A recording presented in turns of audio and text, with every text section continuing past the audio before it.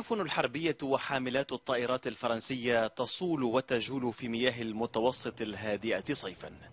هذا البحر الذي طالما كانت رغبة السيطرة عليه والتحكم بالملاحة فيه حلم الحضارات المتعاقبة على ضفافه. عاد اليوم ليتصدر أجندات الدول الطامحة منها والطامعة.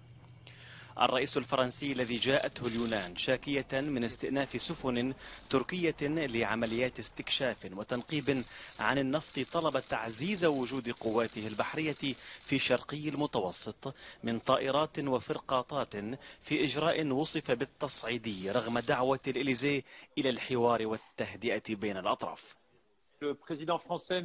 ماكرون ينتمي إلى القسم المعادي للثورات العربية وهو أقرب إلى الإمارات والسعودية. هذا الحلف يعادي أردوغان والرئيس الفرنسي اختار الانضمام إليه. وتحركاته في المتوسط تأتي من دوافع شخصية فوق مصلحة فرنسا. رغم الوساطة المعقدة التي تلعبها برلين بين أنقرة وأثينا إلا أن باريس تغرد منفردة في هذه القضية. فقد بات واضحا بحسب المتابعين أن ماكرون يسعى إلى تأسيس قوة عسكرية أوروبية كبيرة منفصلة عن الناتو لحماية المصالح الأوروبية في شرقي المتوسط. فسيد الإليزي لم يعد يؤمن بدور هذا الحلف الذي نعاه أكثر من مرة ووصفه بالميت سريريا. لا أعتقد أن الأمور ستصل إلى الحرب.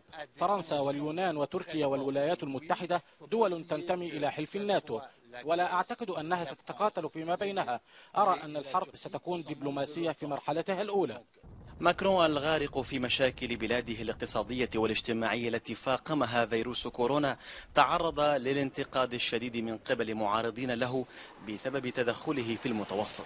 حتى أن البعض اعتبر إرسال عسكريين وحاملات طائرات لمساعدة لبنان إنما هي خطوة لوضع أقدام فرنسا على إحدى ضفاف المتوسط الملتهبة. محمد الحجي العربي.